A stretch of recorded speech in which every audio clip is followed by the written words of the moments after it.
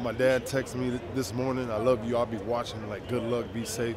The whole family is watching, man, and, and I got I got I got goosebumps thinking about it. I don't like us all getting together and we gotta like beat each other up every week, Goose. I mean, damn, I done whooped Solo's ass last night. Damn, man, I gotta whoop uh, Roman Reigns' ass tonight. Damn, I'm tired of whooping that.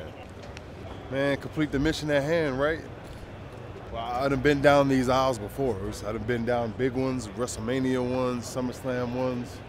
Just go in there and kind of do what we do, always do, man. If I win, I'm gonna pick, pick you up. But if I lose, had the car running. Me and you going. And then we really going to McDonald's. Yeah. Didn't hit yet, was, and I got the white lei on tonight. As a matter of fact, this one right here, she she makes all the leis, all the flowers. Anytime I ask her to come through, she come through. So I didn't give her her flowers.